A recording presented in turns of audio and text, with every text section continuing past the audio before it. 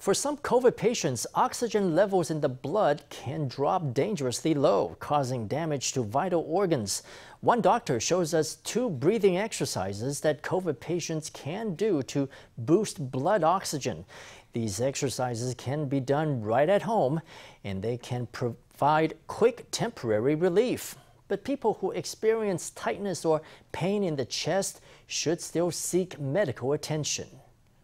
要先吸气，从鼻子吸气，然后再用那个吸管慢慢的吐气，就这样做。He places a straw in his mouth, breathes in deep through his nose, and then exhales through the straw. After repeating this three times, Dr. Chiang Kun-chun's blood oxygen reading goes up from 93 to 99 percent.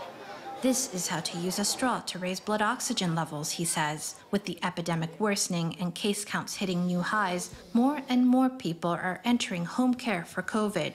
The doctor says that if your blood oxygen drops, you can use a straw to clear your lungs of stale air. Once you inhale fresh air, your blood oxygen level will increase. When you know that the remaining air in your lungs is low in oxygen, you can inhale 100 cubic centimeters of fresh air, which will then combine with the stale air in your lungs. By fully exhaling the air in your lungs, you will certainly improve your blood oxygen saturation. If you don't have a straw at hand, you can purse your lips into a circle and exhale in a similar way to whistling. This will achieve the same effect of increasing blood oxygen levels by 3 to 7 percent.